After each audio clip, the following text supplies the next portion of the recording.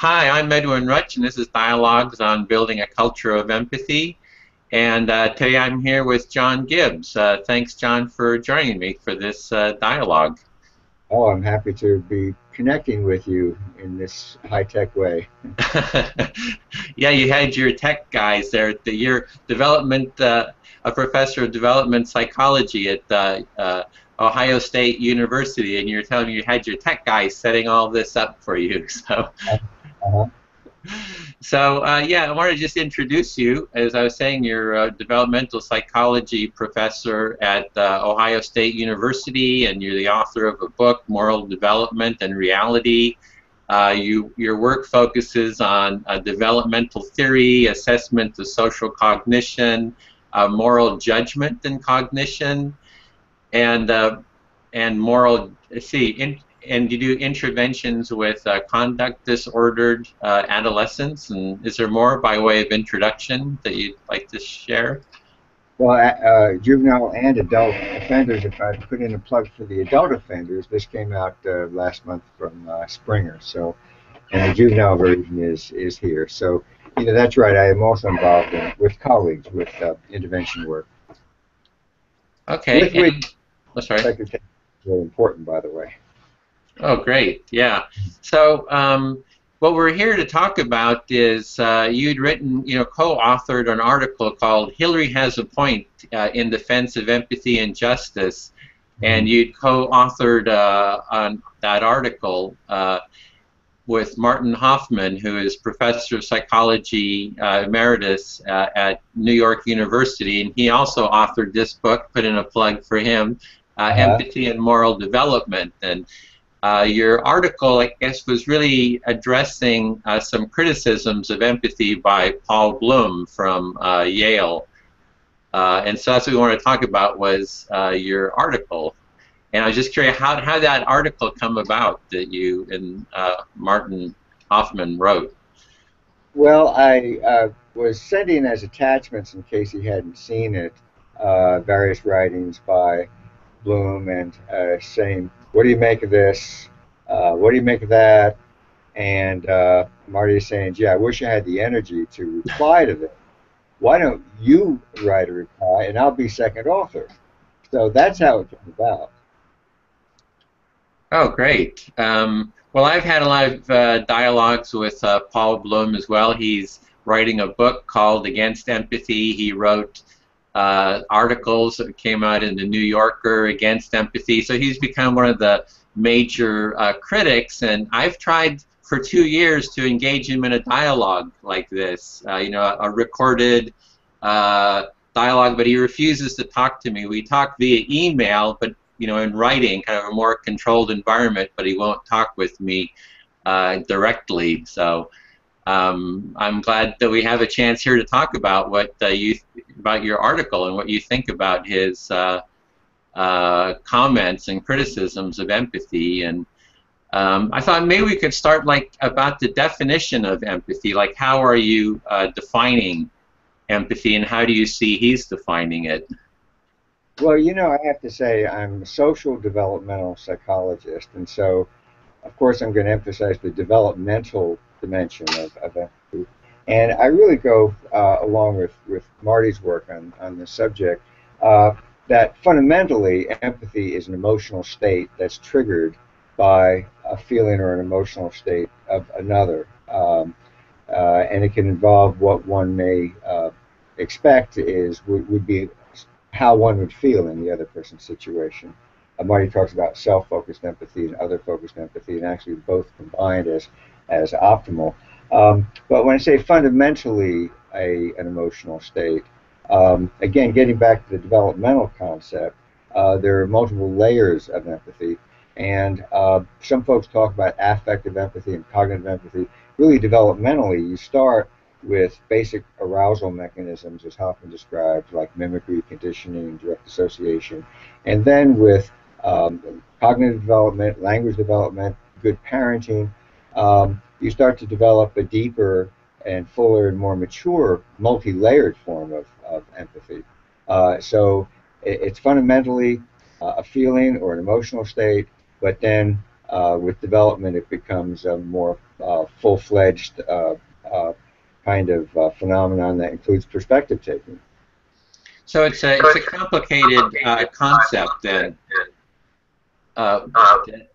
oh, we're getting a little bit of echo here.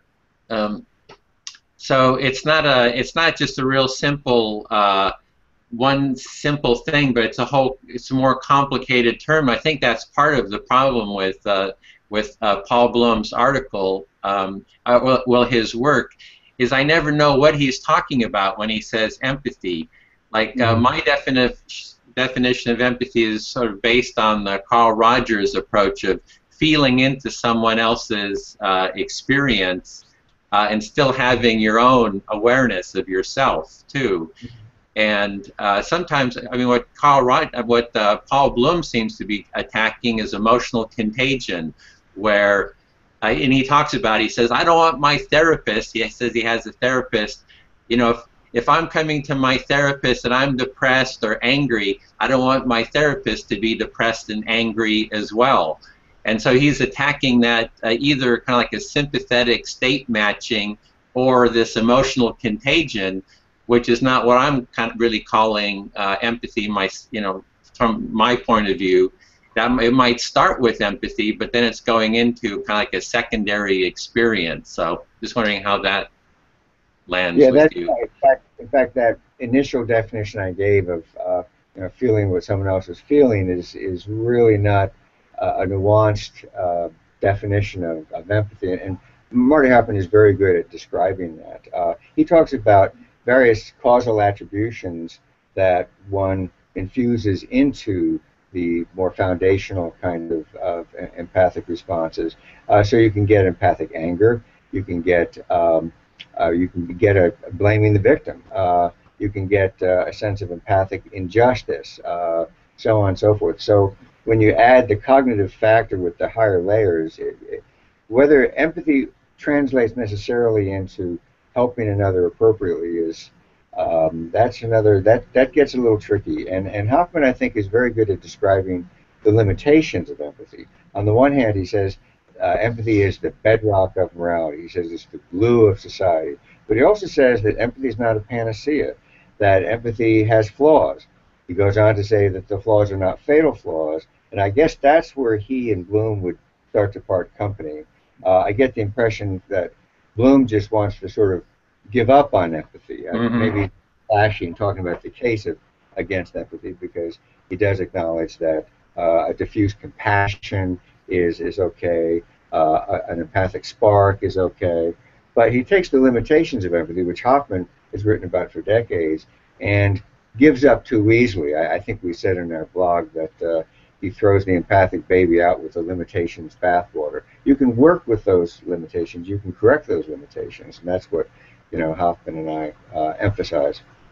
Well, maybe we could well, go through the steps, of, your of your article. article. Uh, you started, with, with uh, uh, a quote with Hillary Clinton uh, saying uh, Hillary Clinton had said that we need to stand. I think she gave a, a couple of talks where she said that the United States needs to empathize with our neighbors and other countries and um, then Paul Bloom is you're saying kind of criticizing that that uh, that uh, viewpoint. And so maybe we could just go through some of the steps of, of your article, like how you set it up and reasoned it. Well, there there were two parts to what I took from Bloom. One was to say that we can't really empathize. We, we don't do it very well. Uh, we certainly do it as well. We certainly don't empathize as well as we think we can.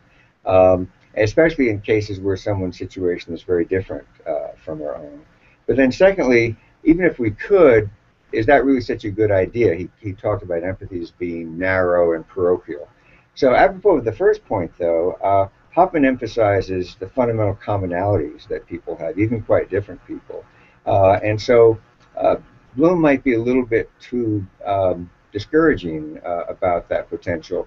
I know uh, Derek uh, Parfit in a book uh, in 2011 said, although we could not possibly be uh, the horse that we are whipping or uh, the trapped and starved animal whose fur we are wearing, um, now wearing, we can imagine such things well enough for moral purposes. I, I really like that quote because I think it makes that point that yes, uh, if you wanted to take a straw man about uh, perfectly getting in someone else's shoes, uh, of course not. But you know, maybe we can take others' perspectives well enough. And uh, and Hillary's point is that we should try to be doing that. And and that would be unfortunate if uh, Bloom's if the thrust of Bloom's comments are than I'd even try to take others' perspectives. Mm-hmm. So the criticism is we can never fully empathize with someone, their full experience. And what I'm hearing you say is that uh, we don't have to have it perfect, but there's there's we can empathize enough, uh, understand people's experience, and it yeah. doesn't have to be perfect to be used as a, a, a moral guide. Um, that, that's right. And then the, the second part of the, his critique it does have to do with what Hoffman calls the, the limitations uh, of empathy. And I'm really frankly surprised that Paul didn't pick up on uh, Marty's terms here because Marty quite nicely lays out two basic limitations that he sees in empathy. One being what he calls empathic bias, and this is, I think, a, a big uh, concern of, of Paul Bloom's that when he talks about narrow and parochial, he's saying that, that, the way Hoffman puts it, there's a kind of a selective attention uh, in our empathy that we're drawn to a highly salient, highly intense distress cues, and sometimes that can be at the expense of others who are suffering at least as much, uh, but who's you know here he calls it here and now bias and similarity familiarity bias, uh, and those who are not as familiar or sim- similar to us and who are not immediately here and now um, can get the short end of the stick, as it were. And I think Daniel Batson um, had demonstrated that in, in, some classic experiments. So that's that's a legitimate concern. Uh, Hoffman also mentions empathic over-arousal, and that's that can be a concern too. You've heard of compassion fatigue. There are cases where we just get so overwhelmed with empathy that we become immobilized and paralyzed. And uh, but Hoffman also emphasizes again that we can, we can, there are things we can do to cope with that. There are ways to reduce empathic over-arousal, for example. Um, that's why healthcare professionals in, in trauma situations uh, need to have distracting and soothing breaks every now and then. Look forward to maybe a rest and recreational break and so on, and then they can go back into back into swing. But it doesn't mean that they should uh, sort of give up on, on, on empathy or, or, or, caring. And similarly with uh, empathic bias, um, you know, sometimes Hoffman cleverly writes that you can recruit that against itself. You can um, you know, take a, a, a, specific case, but but frame that specific uh, instance of, of someone suffering as representative of an entire group that's mm, suffering, mm-hmm. and so on. So there are things that we can do to uh, to attenuate at least these limitations that Paul Bloom is understand legitimately concerned about. I guess we're mainly just parting ways with whether you, as you know, to use that metaphor, you know, throw out the baby with the bathwater here. I mean, empathy certainly really rather odd to start to um, uh, uh, sort of uh, classify uh, uh, empathy as not even a part of the realm of morality. I mean, granted, you know, in, our view, and I talk about the word co-primacy in, in, my, in my Oxford book, um, empathy and justice are co-primary. They um, they, they ideally they would work together in a deep partnership. Uh, and a number of philosophers have, you know, Frankena and others have, uh, have articulated that that um, empathy serves justice um, because you know what is justice ultimately? It doesn't just seek the right balance of care, uh, but then also uh, perspective taking can can serve justice. Uh, you know, and I, call it the golden rule or what have you would victimizers in the right mind really want to trade places with their victims? So there's a there's an intimate interrelationship there, and it's it's that needs to be appreciated rather than banishing one mm. of the mm. partners from the realm of morality. Mm-hmm. Yeah, so there was uh, three points there. The one was uh, two criticisms of uh, empathy. The one is that it's parochial, that there's a bias in terms of maybe if there's a room and there's uh, five people in the room that you might empathize more with one person than the other. So it's not equal empathy for all parties. Is that kind of the, the bias notion? Uh-huh, uh-huh. Mm-hmm. So, uh, Hey, but distress. Go ahead. but for me, when I approach empathy, for me, empathy is like a, a core foundational value, and I, I'm coming from the position that we need to create a culture of empathy to make empathy a primary social value. Mhm. And uh, when I see uh, this, uh, what you're calling a bias, I see it as an unempathic bias. That if we were actually empathic, we would be empathizing with all people, as well as supporting uh, peop everyone empathizing with each other. So it's like creating a like a culture of empathy, of mutual empathy, and creating an environment that supports that. And uh, I've done like conflict mediation, where uh, there's two parties, and you know generally people will have kind of like this victim offender approach. Like well they see one person as the victim and one as the offender and they go rescue the the victim. So they're kind of having empathy for you know the victim and then even going into maybe a sympathetic uh, response. But with a real empathic resp- response you know as a mediator i try to empathize with both sides try to hear both sides and where they're coming from and then once they've been heard, usually they're in, in high stress, high tension states. They can't even hear each other. But when somebody empathizes with them, they start feeling heard, they start calming down, their stress goes down. And then I ask them to empathize with each other, do like empathic listening or active listening, and support them and empathizing with each other. So, and then, you know, more often than not, they'll actually start hearing each other, the conversation gets slowed down, and they'll start understanding each other, and then there's a shared action that comes out of it. So Mhm. the lack of empathy for one person or the other, I see it actually as not a empathy bias, but a an unempathic bias. It, uh, does that make sense? What I'm Yeah, I mean, and and by the way, two things. One is uh, Hoffman makes an excellent point that uh, to reduce the vagaries of empathy, how it's so dependent upon the variations and the intensity of, of distress cues, you can embed empathy in uh, a moral principle such as justice, and that gives it more stability and more more duration.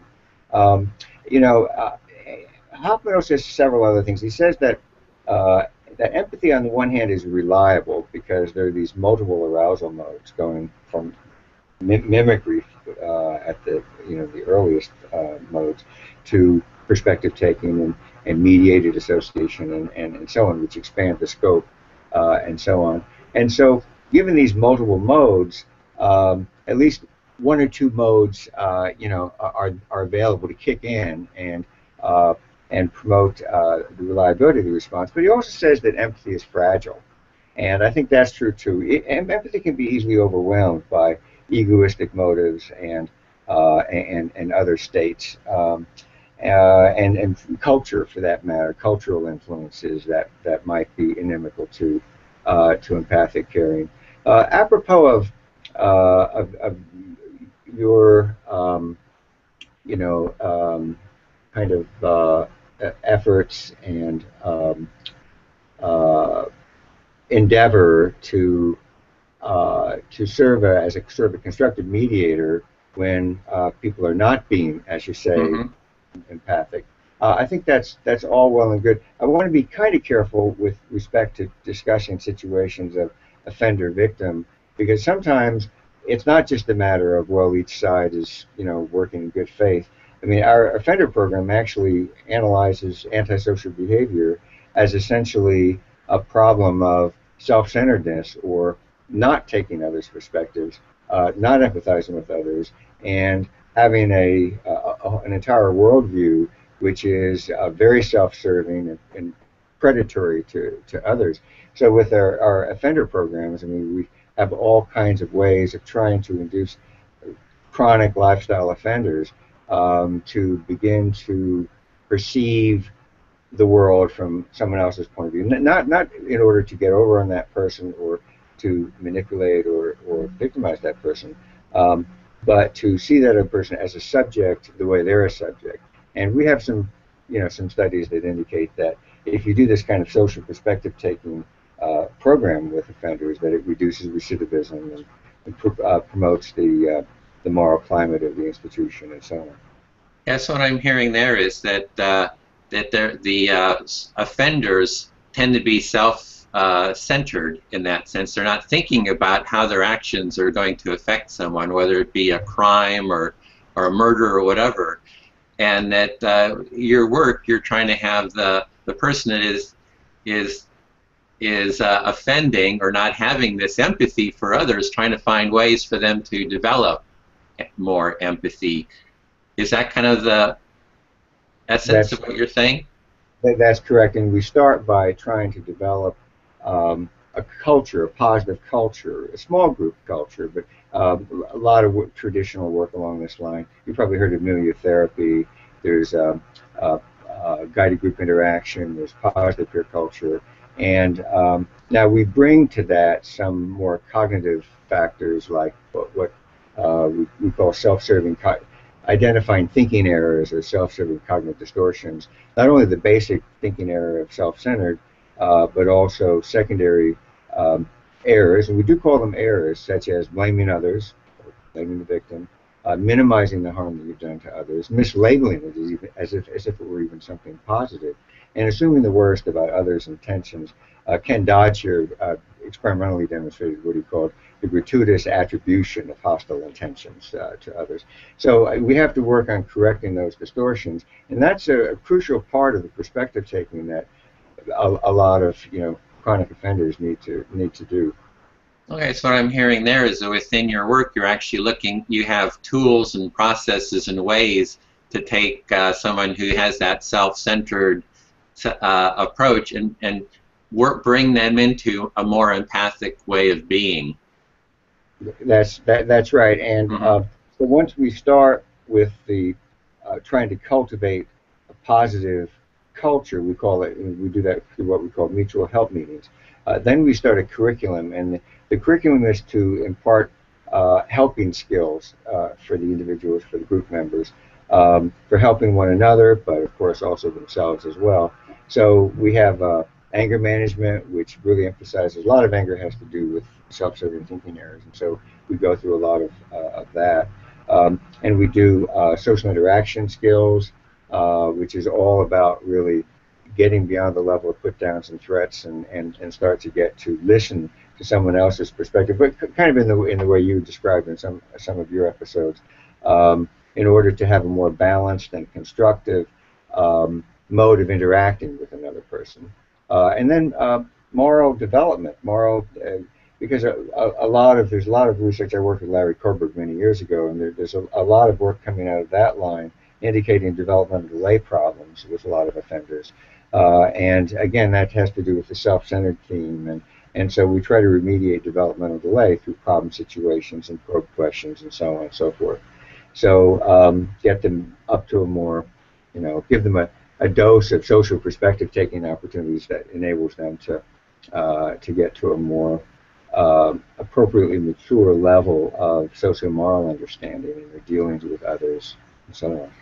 Well, that would be uh, part of my concern about uh, what uh, Paul Bloom is is uh, arguing or attacking empathy. And I've seen I've seen a study from uh, Stanford, uh, from one of the neuroscience labs there, that if people think that that you cannot grow in your empathy, that that inhibits you from growing in your empathy or even trying. You think, mm-hmm. oh, empathy is a fixed state and we're either born with it or not. So, you know, I'm not even going to try to be more empathic, and that that very thought itself uh, inhibits empathy because it's kind of inhibiting you even trying to be more empathic. Whereas it seems that with Paul Bloom, like attacking empathy and saying empathy's you know this terrible thing, that it would have the same effect. That people who are in that self-centered uh, way of uh, being would think, oh, you know, empathy is this terrible thing. Why should I even go make an effort towards being more empathic? Mm-hmm. Uh huh. Yeah.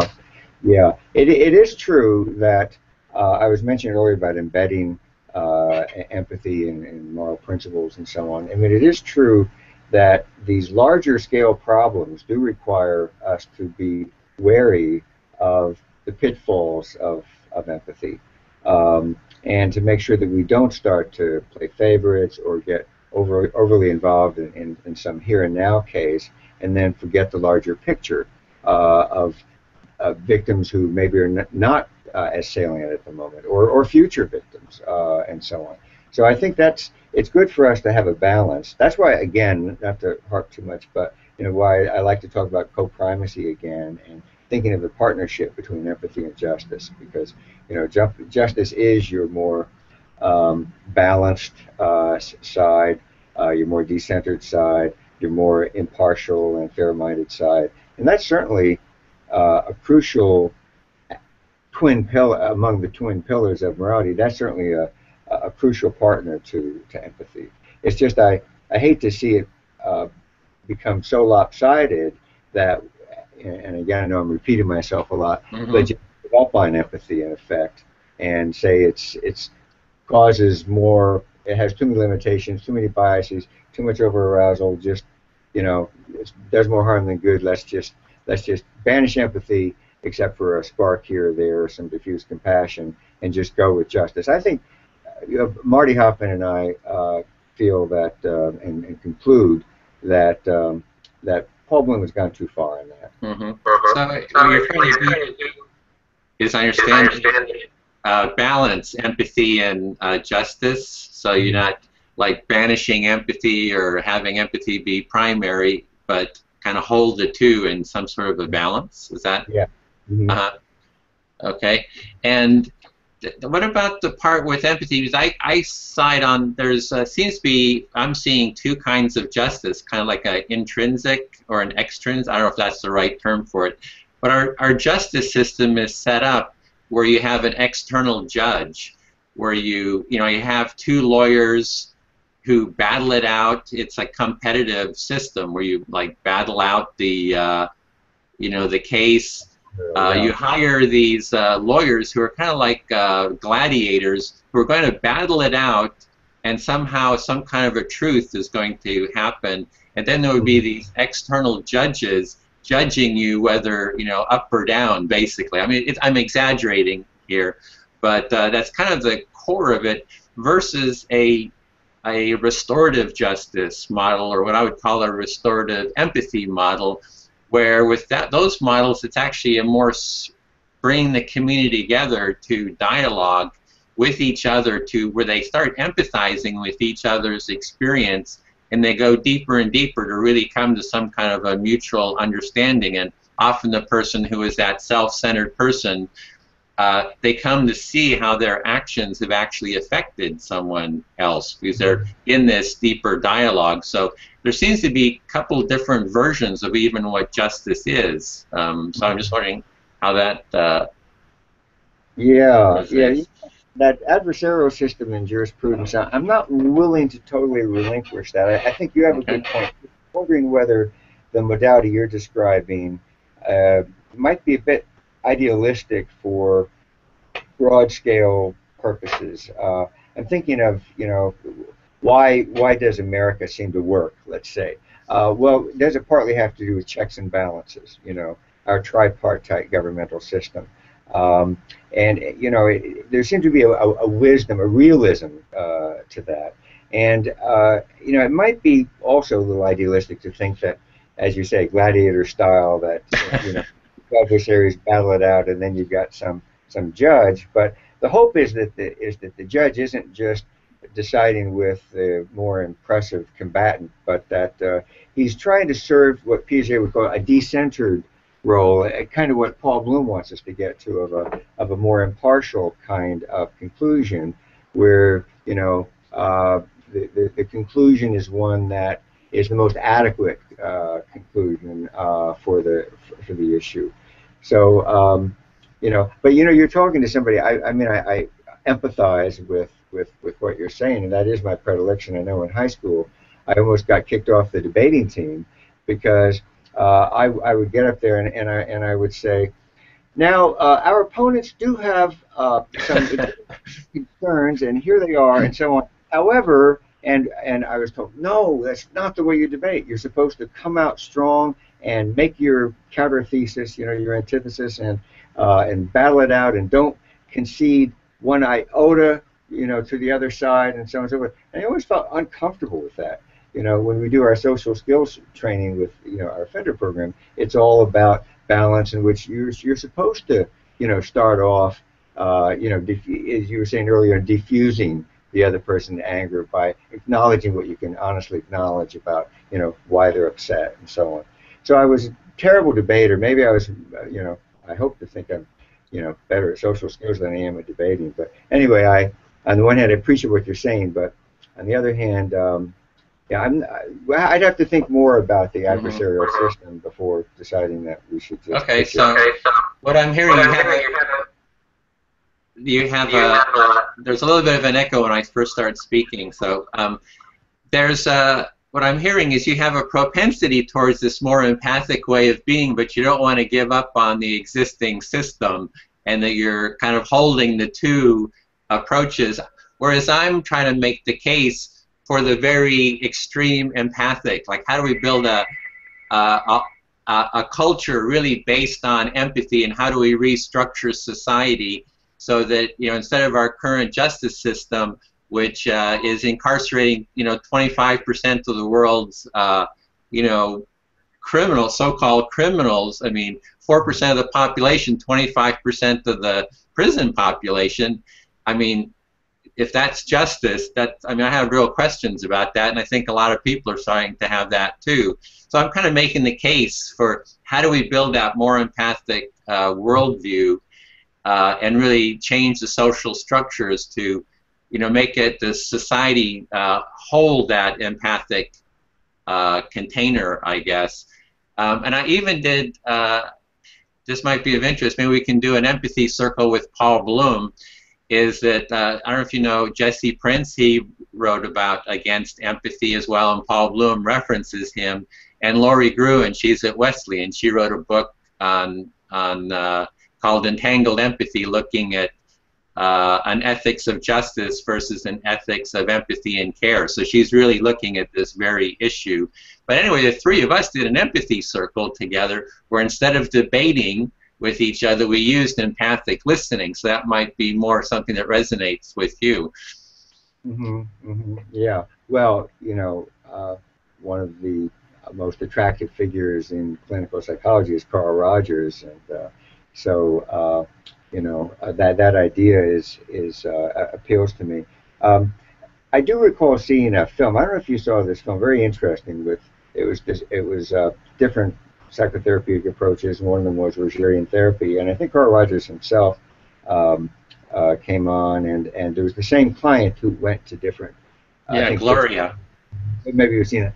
Anyway, the thing that I recall Carl Rogers segment was, uh, and the and the client afterwards, saying that she felt like, you know, he, she felt very much understood, but she also wanted some guidance as to, well, okay, what do I, but what do I do, you know, and and I think that's maybe a, a shortcoming of, of that approach. I mean, at some point, uh, beyond active listening and empathic listening, um, you know, there, there has to be some kind of constructive resolution that that mm. tends direction for mm-hmm. the person to so you're looking for some form of action to take place, like how, when you really hear each other deeply, how do you come together to take some mutual action or personal action?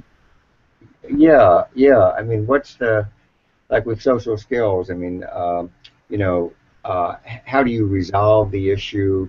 Um, how do you move beyond it at that point, and, and, and so on? Yeah. Well, there's uh, two points. You know, Carl Rogers makes the point that the change that hap happens, like with her, with Gloria, is that by going into yourself and really seeing what's underneath, you know, what the, the deeper or the emergent uh, feelings, that you create a new identity, and out of that new identity, you take actions uh, based on that identity. So that's like one form of change. And also mm -hmm. within mediation, there's uh, empathic mediation where the first part is looking at, you know, how do we feel now? How did we feel at the time of the uh, act, the, uh, you know, the, the, the crime or whatever that happened? And mm-hmm. then it's like once that connection happens, the question becomes, what do we do now? And within mediation, I'm sure you've come across that where then the parties talk about what actions are going to take, and it's a they come with a with an empathic dialogue about coming to a shared understanding of what their actions uh, will be. So yeah. there, it does seem that there is a, a, a route from the connection to actually taking joint action together. Yeah, and I do like that that that notion, the, the, the, first aspect of your, your description of that process. It reminds me going back to Socrates, who it was kind of an emergentism, emergentism where out of a deeper understanding of the dynamics of your of your concerns and feelings comes a direction, and it emerges intrinsically from that process and not something that's externally imposed. Mm-hmm. So I, I, I, do like that uh, that that kind of that vision of how action can emerge from that process of you know of empathic listening and so on.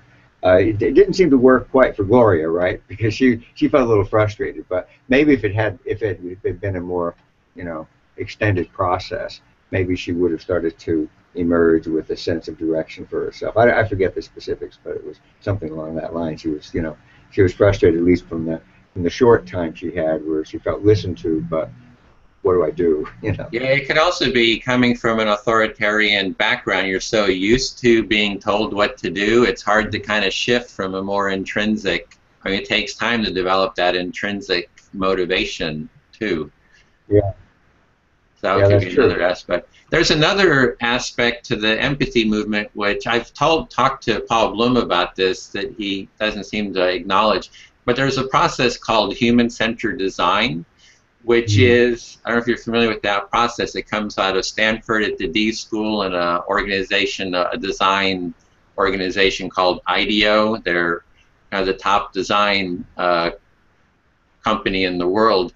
And they use empathy for design. That if you have any problem, the idea is if you design anything, create anything, that you first need to empathize with people you're designing for to understand what their underlying needs are, and then they have a whole set of tools for really uh, doing a needs finding through empathy.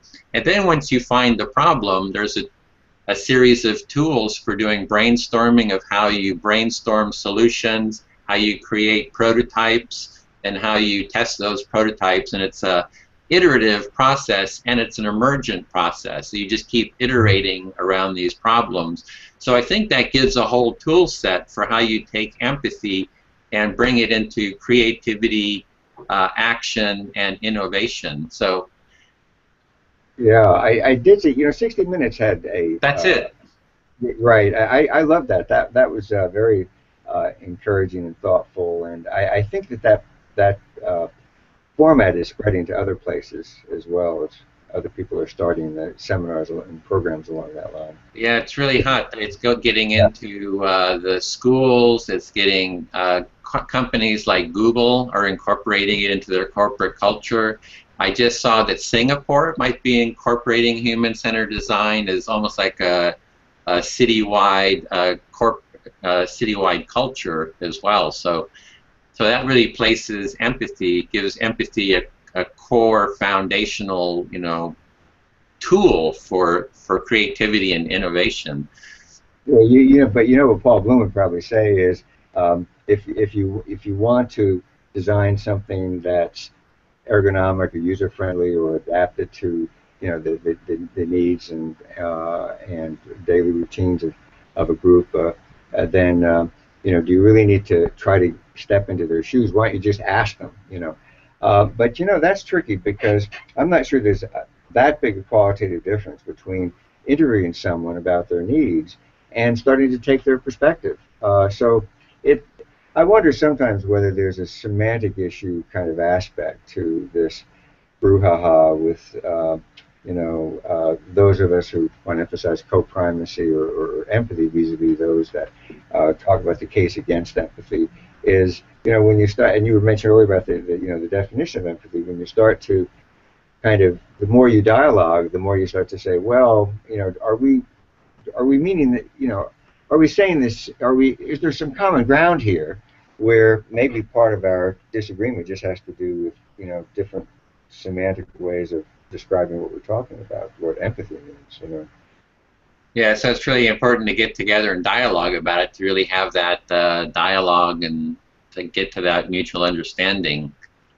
Yeah, because and again, you know, as a social developmental psychologist who's much enamored of Hoffman's uh, social development of, of empathy, that includes cognitive development, then and, and Frans de Waal picks up on this too, this multi-layered kind of uh, thinking. Um, then you can start to say, well, there are multiple facets of, of empathy, and um, again, uh, it's not that empathy is a panacea. You know, it does have flaws. Ask the question: Are those flaws, flaws fatal? And it gets tricky when, once you recognize the multiple meanings of empathy, uh, the way empathy develops into these in, into these successive layers, and the multiple arousal modes involved in empathy, and so on. And uh, so then you have to say, well, let's see, you know, where we're actually substantively disagreeing, and where we actually have common ground.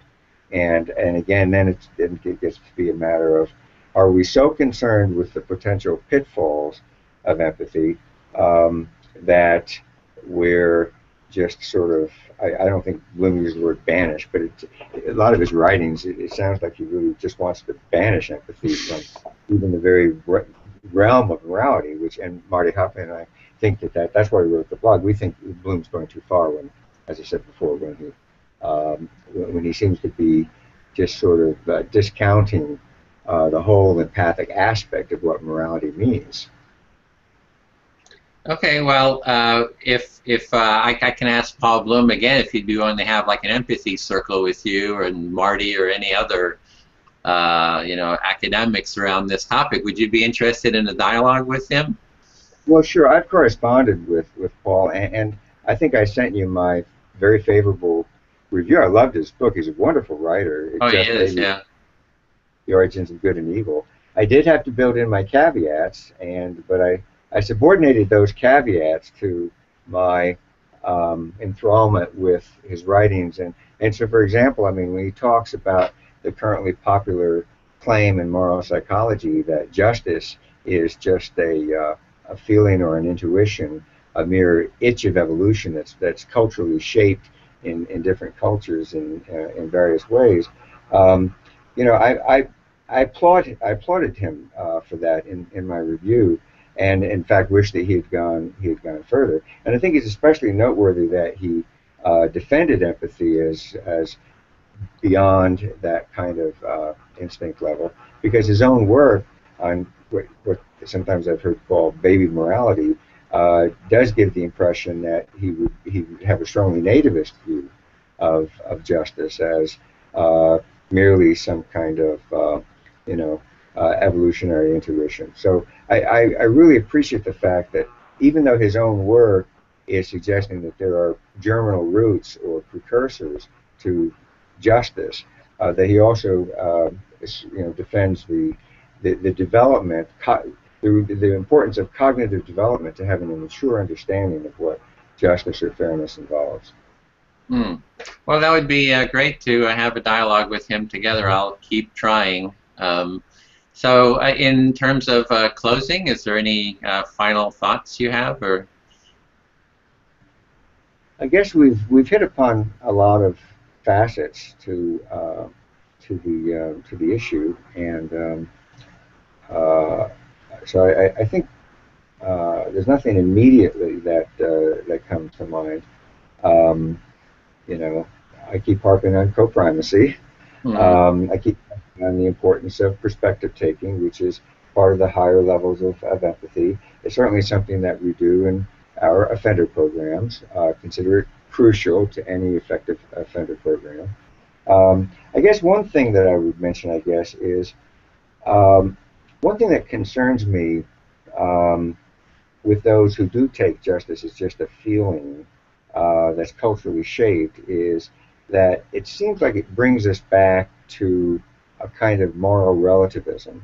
Uh, and that's why I think, as a social developmental psychologist, it's so important to recognize that there are mature forms of, of morality. I mentioned, you know, my work with Kohlberg and moral judgment stages and so on. And I think that was of concern to, to Larry Kohlberg. Uh, as well, and before him, Jean Piaget against Durkheim, is to emphasize that you know that we can identify um, more mature moral understandings, uh, deeper moral understandings, and that that's so crucial to be able to defend ourselves against uh, notions that well any culture is as good as any other culture. Because once you start saying that, you know you can take female genital mutilation. Don't get me started on that topic. I've done powerpoints and that and so on. Um, it's clearly a case, in, in my view, where uh, a defenseless child is being both wronged and harmed. So, and you need to be able to have a non morally relativistic stand and, and defend it, especially when empathy and justice align, so that we can take stands uh, against moral wrongs and harms in, in the world. Well, I guess where I'm uh, coming from is that with uh, the second. Okay, wait, there it goes.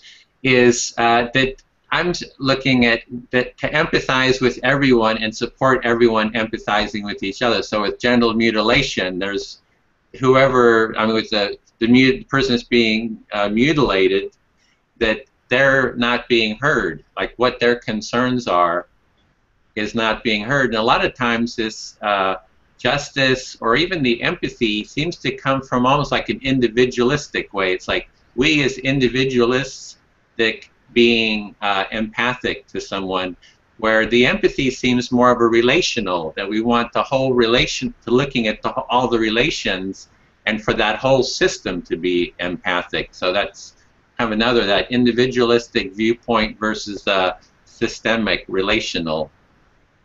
Well, it is, it is true that, you know, if you have a culture that um, enshrines certain traditions, and those traditions are morally wrong, but to justify them, various myths uh, have, have grown up al alongside it, so that, and uh, you've heard of uh, Hirsi Ali, for example, Ayaan Hirsi Ali, but she, uh, uh, in excruciating, talk about empathizing, you, you really empathize with her as a child being victimized with female genital mutilation. Her grandmother thought that uh, she was doing good. Uh, and that was on the basis of, of certain uh, erroneous beliefs uh, in, in that culture. And and uh, Hirsi was teased because before she uh, before the the, the uh, female genital mutilation was teased by uh, school children uh, who had it. But you know there are serious um, medical complications and um, that you know you're probably already aware of, so that it's um, in UK, for example, and I think in this country too, it's um, th th these practices are. It's not just an innocuous circumcision. I mean, it's a really um, dangerous, extremely painful procedure, an, an unnecessary procedure uh, that's perpetrated upon young girls, and uh, it, it's something that, as I say, I've, I've given talks about, and and if that's not a case of where justice and empathy align, uh, where someone is both wronged and harmed, um, you know, it's, it's then then we really have to kind of throw up our hands and say, well, then you just can call anything right or wrong. Yeah. Well, okay. Well, thank you so much for taking the time uh, to have this dialogue, and I hope we can keep the conversation going. Maybe even bring uh, Paul into this and others, because I think it's really that back and forth, empathic, shared dialogue that we can come to deeper understanding. So thanks mm-hmm. again. Yeah. You're welcome. Thank you for, uh, for arranging this and, um, and making this happen.